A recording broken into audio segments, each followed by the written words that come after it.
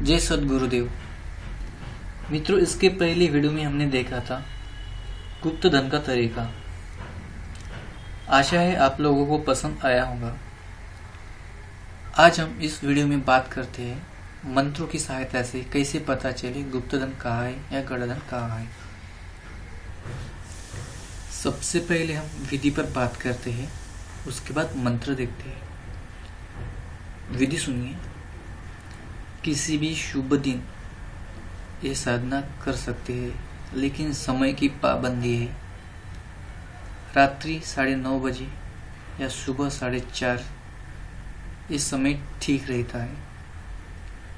यह साधना किससे एकांता नदी के किनारे, शिव मंदिर या फिर अपने कमरे में भी कर सकते हैं। लेकिन कमरे में साधना करते हो, साधना पूर्ण होने तक कोई आए नहीं।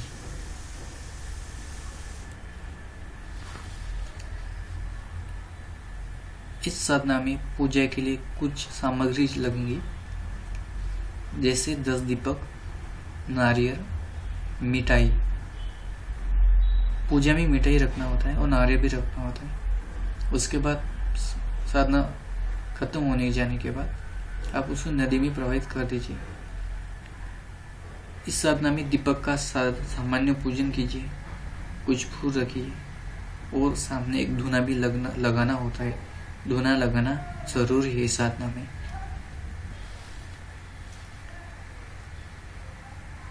अब गुरु मंत्र गणेश मंत्र का जाप करें। और इस वीडियो में एक मंत्र दिया है, उस मंत्र का पाँच माला जाप करें। ऐसा आपको ग्यारह दिन तक करना होगा। ओम नमो दिव्य स्वरूप नव नारायण नवनाथ जी नाथजी दारी लावला देवा।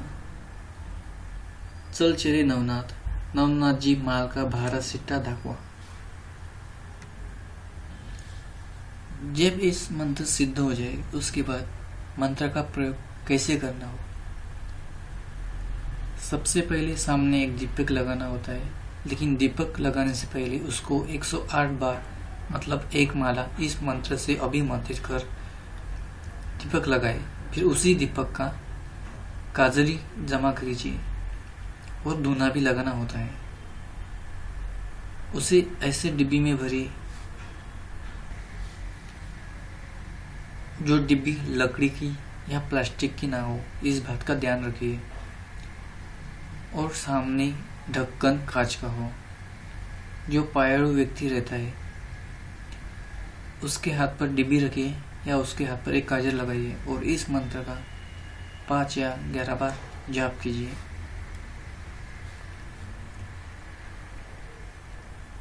इस प्रयोग से पायाड़ू को कुछ अनुभव हो सकते हैं, जैसे कि हाथ का वज़न बढ़ जाना, फिर थरथराना या फिर कुछ और अनुभव हो सकता है। अगर हाथ में प्रकाश दिखाई दे, समझ जाना चाहिए, काजिल लग चुकी है। इस तरीके से आप जान सकते हैं। मित्रों, दस या बीस पायरों में से एक ही पायरों को काजिल लगती है। वैसे पायरों का नियम का पालन करता है तो हर एक प्रयोग सफल हो जाता है। इस वीडियो में सिर्फ़ हमने जानकारी दी है जान, कैसा गुप्तधन जान सके। निकालने की जानकारी नहीं दी है, इसीलिए यह वीडियो देख के निकालने की कोशिश ना करें और नहीं कांटेक्ट करें।